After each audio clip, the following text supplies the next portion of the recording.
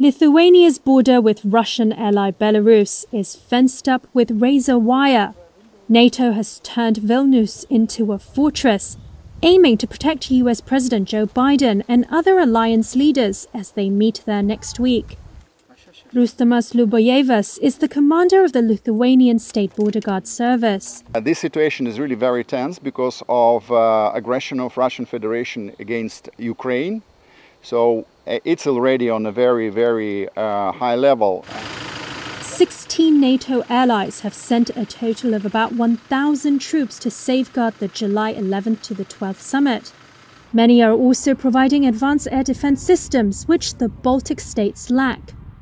The Baltic countries, Lithuania, Estonia, and Latvia, were once under Moscow's rule, but they have been part of both NATO and the European Union since 2004.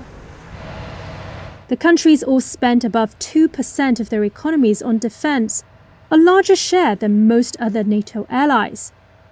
But for the region with total population of about 6 million people, this is not enough to sustain large militaries, invest in their own fighter jets, or advance air defense.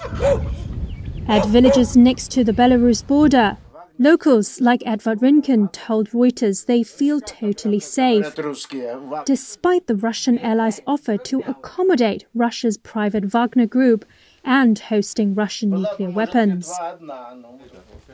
Thousands of Middle Eastern migrants have crossed at the Belarus border in 2021 in an effort Lithuania and the European Union said was orchestrated by Minsk.